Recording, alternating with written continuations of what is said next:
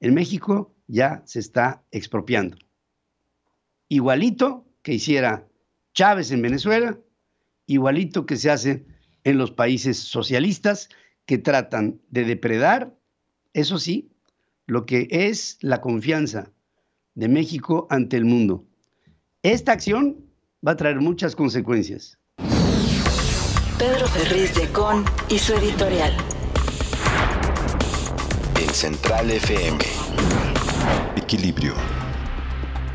Bueno, yo, quisiera poner en contexto eh, esta, esta demanda que hace pública el presidente de México acusando a Vulcan Materials Company de un desastre ecológico en Quintana Roo, porque yo creo que tiene una base que tendríamos que discutir.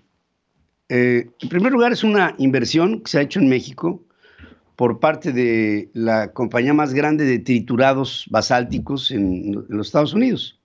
Vulcan Materials Company es una, es una empresa que vale aproximadamente 22.500 millones de dólares. Cotiza en, las 500 eh, empresas más importantes de las 500 de Fortune. Es una organización que tiene un carácter público-privado porque parte de su capital está expresado en bolsa y la mayoría de la tenencia bursátil tiene que ver con grandes grupos y fondos de inversión que todos, es una cosa que quiero explicar o trato de explicar bien, todas las inversiones en las bolsas de valores en el mundo, que empezaron mucha de su actividad, digamos, moderna en los Estados Unidos, tienen que tener un código de ética para demostrar fehacientemente que su actividad es legal, no es depredadora, no tiene eh, ningún efecto negativo en el entorno económico, esté en donde esté. Y cotizan públicamente y su forma de hacerlo públicamente para responder a los accionistas del propio comité de accionistas, pero también, por supuesto, a los accionistas en los mercados públicos a través de compra de acciones, compra-venta de acciones, pues eh, deben de estar totalmente supervisados, auditados, reportados eh, de una manera escrupulosa. Si no, no pueden estar listadas en, en las bolsas de valores. Y Vulcan Materials ha sido una organización que ha cotizado por años en la Bolsa de Valores sin haber presentado nunca un solo problema. Este es un antecedente que es más importante el decirlo. Ahora, el presidente de México aduce que Vulcan Materials está llevando a cabo una acción ilegal depredadora en nuestro país, en Quintana Roo. Lo que habría que decir es que Vulcan Materials lleva trabajando en México 30 años. O sea, no es una compañía que entró ayer una compañía que va tres décadas operando en México.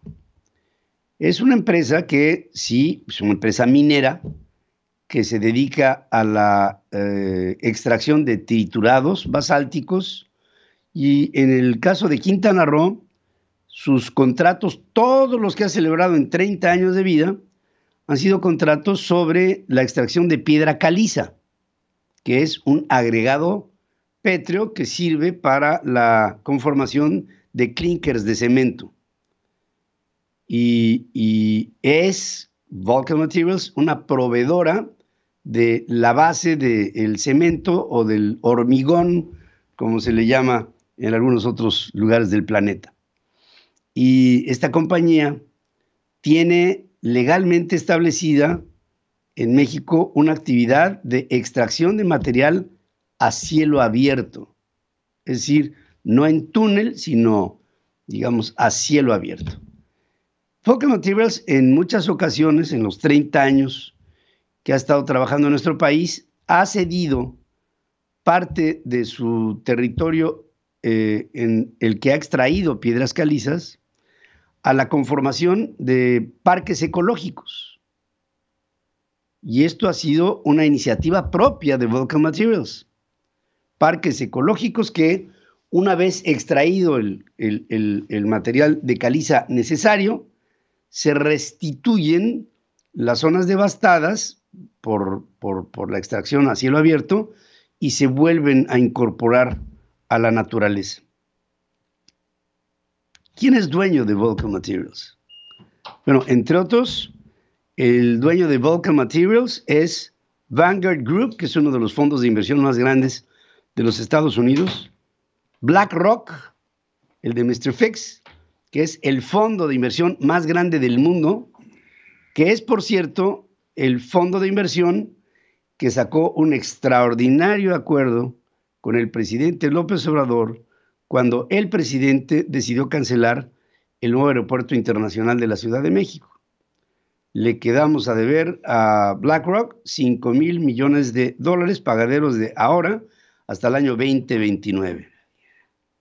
State Farm Mutual, que es una organización de productores agrícolas de los Estados Unidos, que es la más grande organización de productores agrícolas de los Estados Unidos.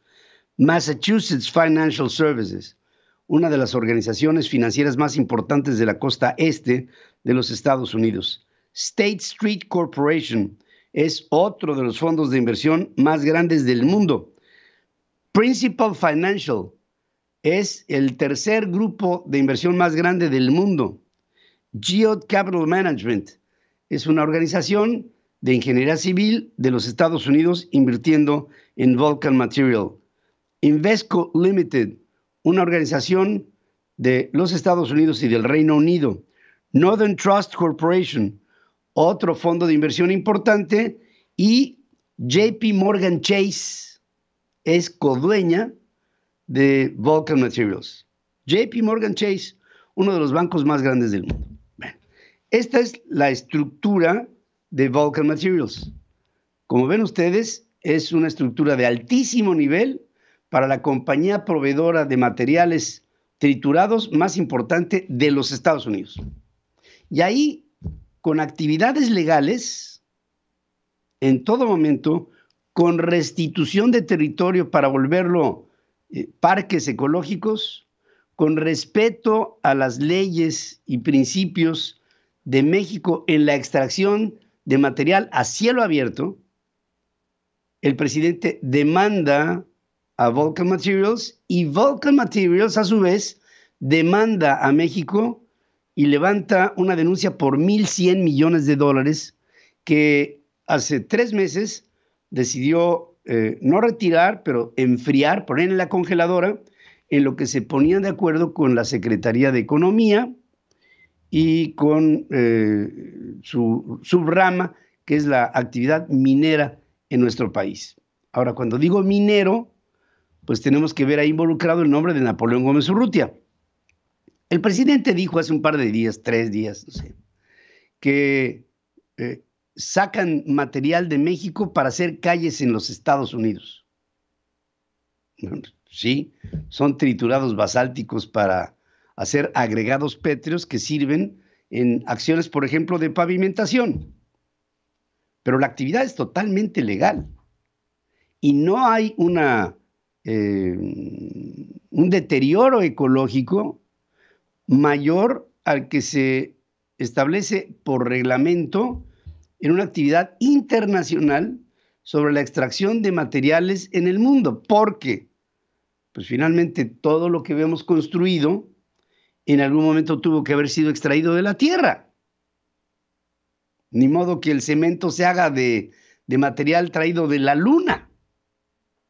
Se trae de la tierra. Y si México hace 30 años vio en Vulcan Materials una organización de la que podría obtener impuestos, trabajos, inversión en el sector real, pues la trajo a México y desde hace todo ese tiempo Vulcan Materials ha trabajado en nuestro país, ahí en tiempo del presidente Ernesto Cedillo. Y ahora el presidente la sataniza y dice que va a actuar en instancias internacionales como la Organización de las Naciones Unidas, que por cierto el presidente no tiene la menor idea de que el arbitraje de la relación entre Vulcan Materials y México no es en la ONU, la ONU no es la instancia internacional para dirimir este tipo de problemas. Cuando reciba la ONU esta denuncia, no va a saber qué hacer, porque no le toca. Hay un panel de controversias en el TEMEC, el Tratado Comercial entre México, Estados Unidos y Canadá, que cumple con la operatividad completa de Vulcan Materials. Y ahí es a, donde ha apelado Vulcan Materials, no como está dando el presidente palos de ciego, que no sabe ni a dónde demandar a una empresa a la que de manera ilegal la está desprestigiando las empresas y las organizaciones viven de su prestigio. La está desprestigiando en el ámbito internacional del mercado bursátil con una, eh, una serie de alegatos que son totalmente ilegales y fuera de lugar. El presidente, con esta denuncia en contra de Vulcan Materials, aparte de atentar en contra del TEMEC, está atentando en contra de otra cosa que es mucho más importante. Lo que está haciendo es vulnerar los principios fundamentales de la propiedad privada, ya que para la extracción de estos materiales tiene que haber una base de inversión en un elemento que es parte de los activos, de los activos que figuran en la empresa en sus 22 mil millones de dólares de valor. Y que si tiene activos en Quintana Roo, estos aplican en su en su lista contable de lo que para Vulcan Materials representa su, la cantidad de bienes materiales que tiene para su balance general. En otras palabras, atenta en contra de la propiedad privada, de la propiedad industrial, de la propiedad intelectual, del Tratado Comercial México-Estados Unidos-Canadá, de acuerdos internacionales de minería, de la propia ley minera mexicana. Y entonces, esta es una expropiación. Otra más, que el presidente la disfraza de esta manera. Es que están depredando a nuestro país. Y claro, pues la chairiza se avienta a defender al presidente porque se ve en fotografías lo que Vulcan Materials extrae, pero no se sabe en el fondo lo que representa una empresa minera de extracción de triturados a cielo abierto. Y lo que va a pasar es que, aparte del ridículo, el presidente va a sacrificar un juicio en el que hay 1.100 millones de dólares en juego que fácilmente esta organización le ganará a México y que México tendremos que pagar. Pero no solo es eso. Ya les dije cuáles son los fondos de inversión que están involucrados en la propiedad de Vulcan Materials. Y esos son como, como un megáfono que reproduce a nivel internacional lo que está pasando en México. La experiencia de JP Morgan, the Vanguard Group, the BlackRock, the State Farm, the Massachusetts Financial, the State Street, the Principal Financial, the Geo Capital, the Invesco, the Northern Trust, todas van a llegar a sus consejos de administración para decir, en México ya se está expropiando. Igualito que hiciera Chávez en Venezuela, igualito que se hace en los países socialistas que tratan de depredar, eso sí, lo que es la confianza de México ante el mundo. Esta acción va a traer muchas consecuencias. No es tan sencillo como una minera relacionada legalmente en México. Es una bronca que nos estamos aventando con el mundo financiero. Todo. A través del irresponsable líder tropical tabasqueño que no tiene la más mínima idea de lo que está haciendo con México. Sigue escuchando a Pedro Ferriz de Con. Central FM.